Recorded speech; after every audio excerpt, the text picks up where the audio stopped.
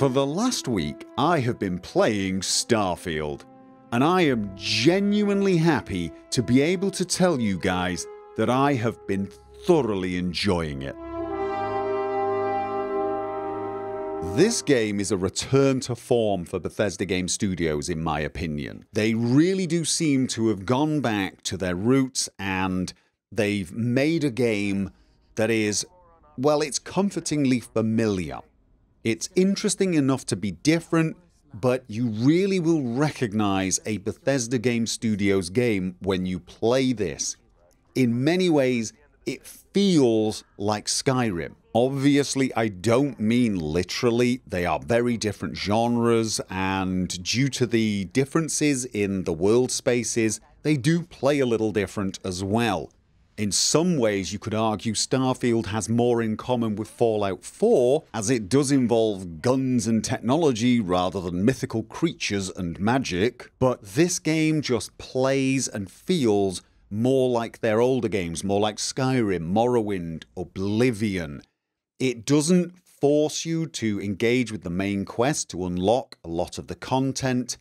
It gives you a lot of stuff to do, a lot of freedom to choose what you want to do, and it gives you that that stage upon which to experience the stories they are telling you, but also express your own story. 45 hours into the game, and I'm already planning my second, third, fourth, and fifth playthrough with different characters. Now, although I've played for about 45 hours, I've only just scratched the surface of this game. It is huge. I've really not explored the galaxy much at all, only the, the sort of systems and planets in the area you start with. I've only encountered two of the major factions at the moment, and I've not joined either of those either. I've been generally doing the main quest, side quests, doing a little bit of exploring, engaging with some of the mechanics like the outposts, generally trying to get an overview of the entire game. And when I look at the map, when I look at the star map, I realize I have got a lot left to do. So it's very hard to give a definitive review of the game. It is a good sign that it's large, that I can do a lot of things, but obviously I can't really give an opinion on those until I've discovered them.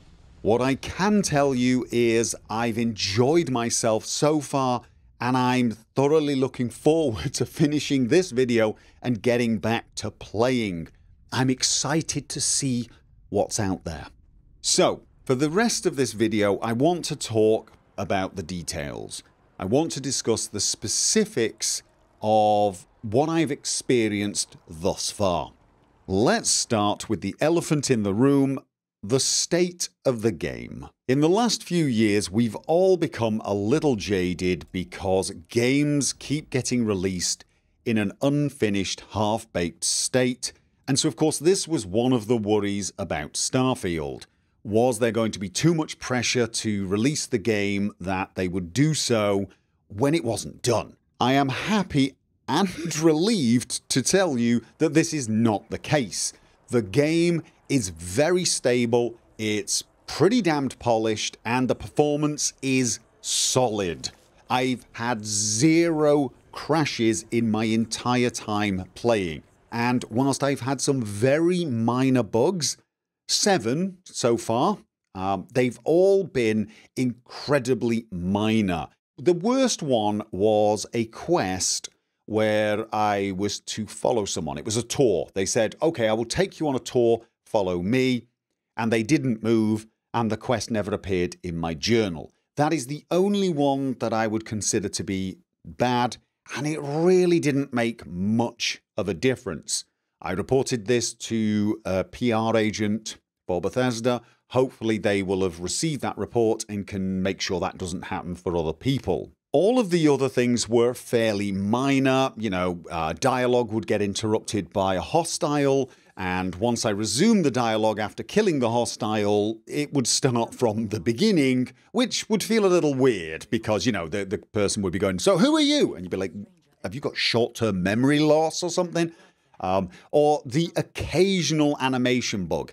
I've had two animation bugs so far, and they were very, very minor. A companion went into the zero G floating animation for a few seconds in a place where gravity was normal, and there was one of those odd head turn moments because a trader was in the process of turning to face one of her friends, and I interrupted her to trade with her.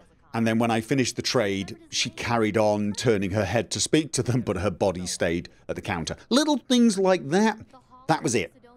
And there were very few of them. Performance wise, the game's pretty solid. I was getting between about 80 and say 150 frames a second in most places, and it seemed to vary depending on where I was, what time of day it was, what sort of lighting was going on, what sort of weather was going on. It didn't fluctuate much in the moment. So if you were getting 90 frames a second in an area, it would probably stay around 90 frames a second most of the time. And that's a good sign. I was getting no hitching, no stutters, a general smooth experience the whole time. Of course, I have a 4090 in my machine and a 13900KS CPU, so I've got pretty much best case scenario for this kind of game. I was running at 1440p on ultra settings, if you are running an older machine, you may have to drop the settings a little. And obviously, I cannot promise how it's going to behave on your machine, and I would highly recommend you go and check some other sites or videos for performance from people who do that for a living. Go and find people who actually can show you the frame rate in different areas on different settings for the different graphics cards. I will tell you as a general rule the game seems to lean on the graphics card way more than the CPU. So let's move on to the content now, the quests. The main quest is very interesting and I'm really enjoying it. And more importantly, as I've already mentioned, it is not overbearing. It's a lot closer to the sort of main quests you had in Oblivion, Skyrim, Morrowind, etc., in that you can take it or leave it. It's completely up to you. Um, it's a sort of quest that makes you want to engage with it, but you could play a character who just said, Nope, I'm not interested, and you could go off and do a thousand other things. The game does not restrict you, which is absolutely brilliant but it also feels like the game is giving me a lot of time on the main quest. Um, as in, I don't feel this constant pressure to absolutely focus on it. It feels like the sort of thing I can do as I travel around. It's, it's important. You are unlocking the secrets of the universe, but it's not time critical. It's not imminent. There are loads of interesting characters, enjoyable dialogue, and some great voice acting. And this goes for the side quests as well. I've actually been quite impressed with the side quests so far. I've not done any of the major factions, so I've not done any big side quest lines, but I've discovered quite a few that involved a lot more dialogue than I was expecting, a lot more multi stage quests. Even though they were quite small, the, the, the quest giver would have me doing three or four different things in different places that were, you know, short and sweet, but also interesting. And then I'd come back and have a conversation with them or someone else, and I'd try to resolve something. So I, I feel like they've upped their game in that area as well. And some of the random conversations I have just flying through space, and some person, some trader hails me have been brilliant. I've loved them. The dialogue system itself is old school RPG dialogue. They've returned to a more Skyrim esque Oblivion Fallout 3 type dialogue rather than the dialogue wheel they had in Fallout 4 with its voiced protagonist. And I'm really enjoying that. I much prefer that system of dialogue in Bethesda Game Studios games. I really do. You can see the full line that you're going to speak, and you're not restricted to four very small options. You could have two options, you could have seven or eight options.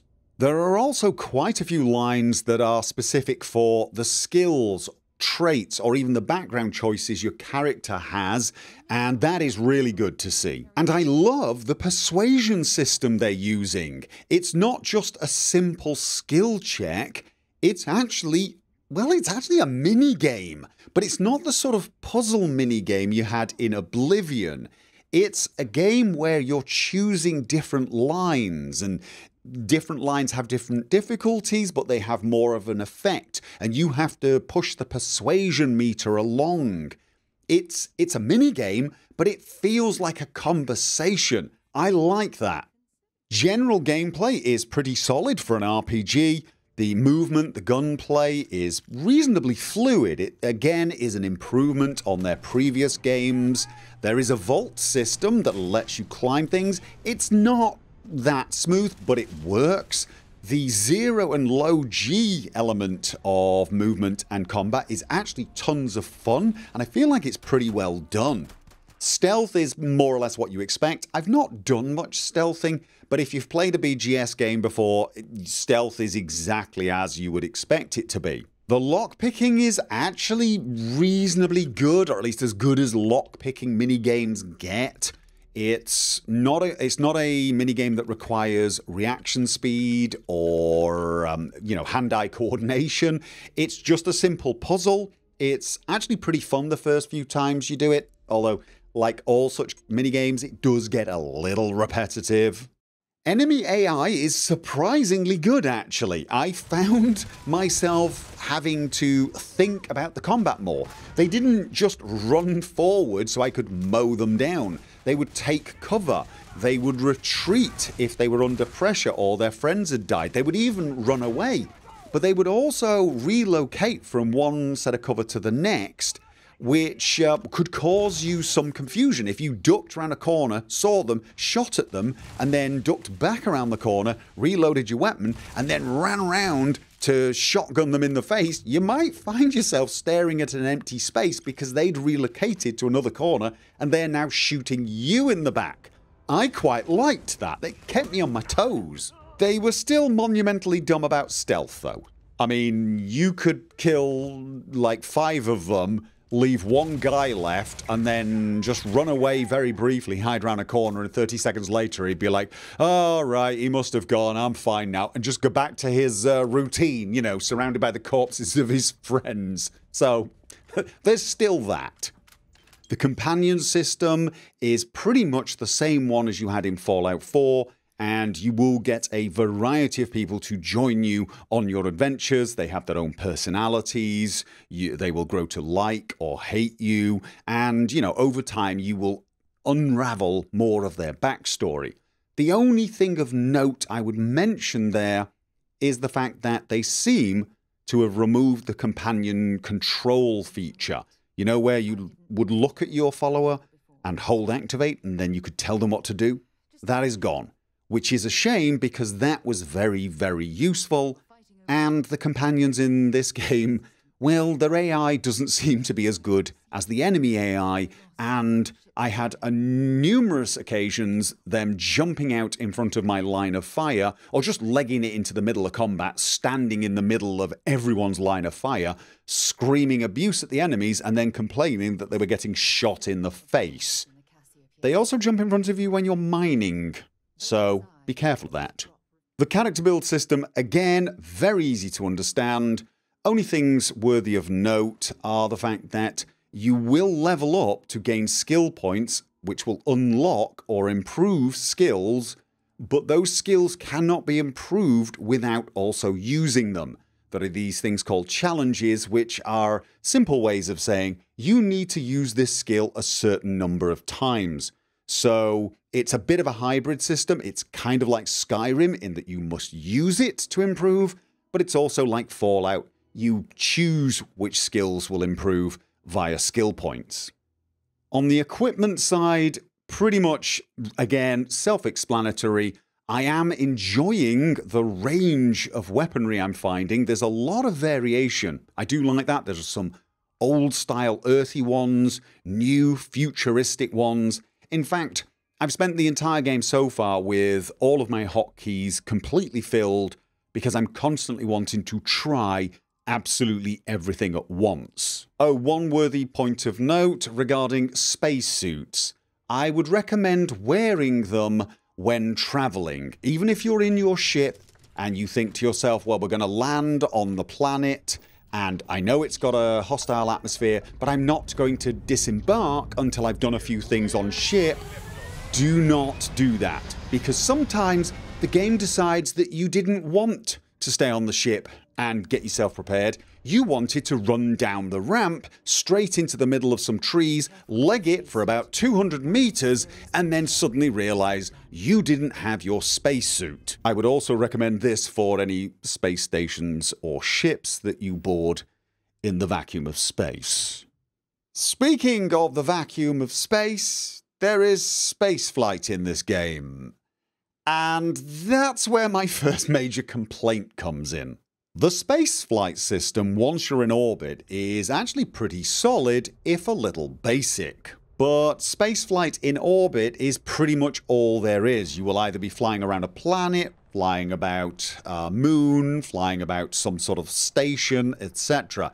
You will not be landing or taking off from a planet. You will not be flying from one planet to the next manually. You will be doing all of those things through the navigation menu. You will click on a planet, there will be an animation, and you will zoom off to the planet. You will be on the surface, you will say take off, and an animation will appear where you take off, basically. This is not Elite Dangerous, it is an open world RPG that has some simple elements of spaceflight and combat. But that is not my complaint. My complaint is the controls. They're kinda horrible. And they don't have to be. I mean, the core system itself is solid and it could work. It's just. I hated flying. The problem started when I realised there was no joystick support. At least, I couldn't get it to detect my Thrustmaster or my throttle. And there are no options in the settings that hint that there might be joystick support. There's mouse and keyboard, and there's controller support. And the mouse controls are horrible. They really are. Now, I'm willing to accept that this might just be a me problem. I might just suck at flying with mouse and keyboard in this game. Everyone else might be kicking ass and taking names in the vacuum of space. And I will admit that I did get better. I became more competent at surviving the fights and, you know, I didn't it didn't stop me from playing or even enjoying the game. But I did not at any point really enjoy the space combat at all. For starters, Yaw and roll seem to be on the wrong hand for me. Mouse controls pitch and yaw, and your, your keyboard controls acceleration and roll. I, I feel like roll should be on the mouse and yaw on the keyboard. It's just, I, it, I, I really did not find that instinctive at all and there's no option in game to swap those. And then there's the problem that the mouse obviously has no auto centering and they've not provided a key that would do that and they haven't even simulated a sort of dead zone. So when you're trying to move the flight stick back to dead center, you're constantly overshooting it and having to correct and because the controls themselves are so sluggish and the, the ship seems to respond very, very slowly to your input, you kind of have to concentrate on the UI element that shows you where your flight stick is and try to get it pixel perfect. All the whilst, if you're in combat, you're trying to also look at a ship or something. And to further compound the problems, if you invert Y on your flight controls, which is a fairly popular and common thing to do in flight sims and space combat games, it makes that indicator, that UI indicator, completely wrong. When you pull back with your flight stick, it shows it as moving up, which causes a weird sort of conflict in your brain and your muscle memory when you're trying to correct for it. It's not showing you where your flight stick is at that point, it's kind of showing you where your flight stick would be if you weren't inverting Y, or where your ship is heading. Thing is, I don't need to know where my ship is heading, I can see that. What I need to be able to do is understand exactly where my flight stick is and return it to centre so I can fly straight. Now I switched to controller to try that out and it is a massive improvement over mouse and keyboard which is not a too big of a surprise seeing as it is closer to the joystick experience. If you have a controller and you are competent with it I would recommend using that for spaceflight. Um, you also have the option to swap yaw and roll, so at least that's something. Unfortunately, I suck with controller, and whilst I felt it was a lot easier to fly smoothly and in a straight line using the controller, the minute an enemy appeared and I had to, you know, mentally think of multiple things and started pressing buttons, the whole thing fell apart and I was just, I was not just all over the place, I was standing up in the middle of the cockpit while being shot because I'd accidentally pressed get out of seat instead of uh, target enemy. And seeing as I do suck at controller I would never even dream of using it in the first person um, aspect of the game. You know when running around towns or planets I'd be constantly switching between the two which would absolutely do my head in. And honestly when it came down to it as bad as mouse and keyboard was as frustrating and unpleasant as it was I was better at combat with those with those rather than the controller I was genuinely looking forward to doing some sort of space pirate run through of this game but I will be doing no such thing until there's either official joystick support or I figured a way to make joystick work with this game. In the meantime we're going to need some tweaks to mouse and keyboard uh, Bethesda, we really are. At the very least you need an option to swap roll and yaw and have some sort of simulated dead zone to make it a little easier to center the ship and honestly you need the, the, the heads up display element that shows you where your flight stick is to work with invert Y flight controls. Spaceflight may not be the biggest part of this game but it is an integral part of it and it needs to be fun for both mouse and keyboard users as well as controller users. I'm, I'm sure controller users are probably going to be playing this game and scratching their head um, unless you invert Y on your flight stick, which you might, in which case I will be curious to know if people have the same problem I had when they invert the Y on the flight stick. Did you have the same problems when looking at that, that UI element? Did it mess with your head the way it messed with mine? Because it really did. I would have switched it off I would have actually found it easier to fly without even an indicator showing me where my flight stick was rather than one that was incorrectly showing me where my flight stick was. Anyway, that was a bit of a rant wasn't it? Um, don't get me wrong though, there is a lot of potential in the spaceflight and indeed the ship in general. I really enjoyed the shipbuilding even though I didn't get to engage with it too much. I tried different things. Of course I went nuts the first time I discovered it, built all sorts of things, thought oh this looks really cool and then I noticed this little exclamation mark in the bottom right hand corner and I clicked on it and it went this thing is not gonna fly because there are quite a few rules that you have to obey to make a ship space-worthy, which does in fact make sense. I feel like this is something you're going to get into more towards the end of the game when you get a lot more money, maybe you get multiple ships. But right now, I'm tweaking around the edges, upgrading my ship, and that did help with combat actually. Upgrading the ship and taking some skills in piloting and engines definitely helped. So again, for all me ranting about the control system, the core concept of the space flight system appeals to me. I'm, I'm, I'm here for that. I just don't want to be annoyed by the control system. Related to shipbuilding, we also have outpost building, and you're probably thinking something along the lines of the settlement building system in Fallout 4. And there are some obvious comparisons there, but these are actually kind of different. For a start, it really is presented as almost an afterthought by one of the companions and then never mentioned again. It's kind of left up to you whether or not you want to engage with it. And the process of building an outpost is much more streamlined. Instead of building individual things, you just sort of build units. You'll build a resident unit, you'll build a hydroponics unit, and then maybe you'll build an extractor or something. And in, in fact, for a lot of the uses I've ended up using the outpost for, you don't even need much of that because you don't actually need people at the outpost. I did create an outpost where I could assign crew members because it is nice to have a place where you can send people that, you know, your ship has a maximum number of crew members, you see, and you will start collecting people. It is nice to have somewhere to send them.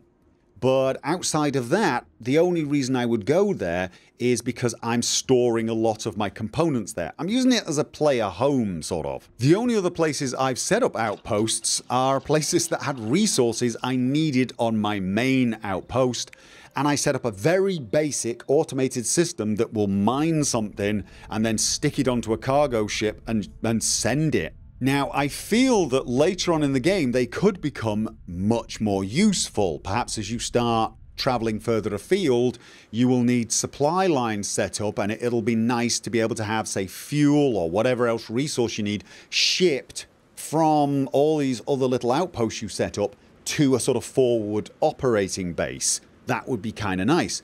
You can also set up quick outposts if you've got the resource and just build a scanner enhancer. So you get out your ship, you build the outpost, you build a scanner enhancer, and now your scanner will go three times further, allowing you to figure out what's going on in the area, survey a place better, etc. And I'm guessing towards the end game, or maybe on a later playthrough, some people are going to want to just do a massive kind of empire building escapade, max out all the skills that allow you to have more and better um, outposts and just build these absolute production behemoths that, that make you so rich and tons of resources, etc. So there's probably a whole game there in of itself. But what I like about it is as useful as it could be, it's completely not in your face. The user interface for this game is pretty standard interface as Bethesda Game Studios games go. It seems better designed for playing on a console on a big TV than it does on a monitor, to be honest, but that's to be expected with most games nowadays. The heads up display is somewhat in your face, no pun intended. You cannot turn off uh, many of the options, so it's always there, it's always taking up real estate. But my major complaint is the use of the center of the screen for stuff that has no business being in the center of the screen. I mean, for example, the experience gain. Every time you kill something or do something, you get a notice telling you you've got experience. I mean, personally, I don't even really need that. I, I, am quite happy knowing I'm getting experience without being told each and every time. But I don't want it at the center of the screen. It's distracting and it can kind of get in the way. But you know what gets in the way 10 times more than that. The giant banner that appears every time you, uh, you know, discover something, for example. And especially seeing as half the times you discover something, you are also discovering things that want to murder you, and this giant banner is covering them. It's in the way. I can't see them. I'm trying to target a ship, and it's behind a bunch of bloody words. That has got to go.